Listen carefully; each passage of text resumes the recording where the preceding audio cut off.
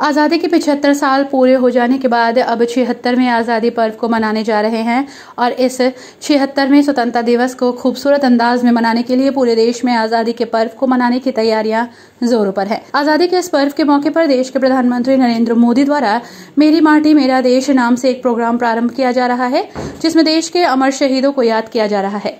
साथ ही ग्राम पंचायत स्तर पर मेरी माटी, मेरा देश कार्यक्रम को प्रारंभ किया जा रहा है। खंड विकास कार्यालय पर मौजूद खंड विकास अधिकारी श्रद्धा गुप्ता द्वारा बताया गया कि हम आज़ादी के छिहत्तरवें वर्ष को मनाने जा रहे हैं। हम उन अमर शहीदों को भी नमन कर रहे हैं, जिनकी खातिर हम खुली हवा में सांस ले रहे हैं। प्रत्येक भारतीय का सीना गर्व से चौड़ा हो जाता है। जब हम अपने बलिदानियों को याद करते हैं और उनके द्वारा जो काम किए गए, उनको भी कभी नहीं भुला सकते। अमर शहीदों को याद करने का एक ही बहुत अच्छा तरीका है।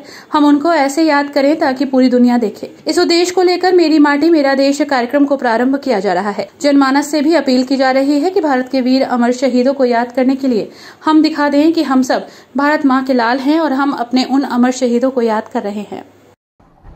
माननीय प्रधानमंत्री जी के आह्वान के आधार पर मेरी माटी, मेरा देश अभियान चलाया जा रहा है, जिसके अंतर्गत प्रत्येक ग्राम पंचायत में कार्यक्रम आयोजित किए जाएँगे और अमृत वाटिका बनाई जाएगी और प्रत्येक ग्राम पंचायत से एक कलश मिट्टी प्रतीक के रूप में ब्लॉक लाई जाएगी।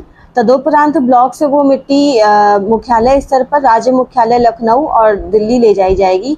इस कार्यक्रम का उद्देश्य मुख्य रूप से अमर शहीदों को नमन करना, उनके प्राणों का बलिदान जिन्होंने दिया है, उन्हें याद करना, उन्हें शशत नमन करने के संदर्भ में है।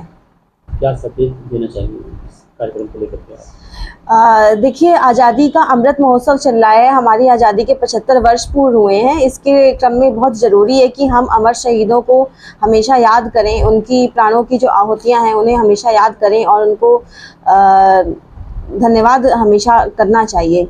उसके कारण है हम लोग जो है आज़ादी के माहौल में सांस ले पा रहे हैं। इसके लिए ये बहुत ही अच्छा अवसर है कि इसके माध्यम से शहीदों के बलिदान को याद किया जाए।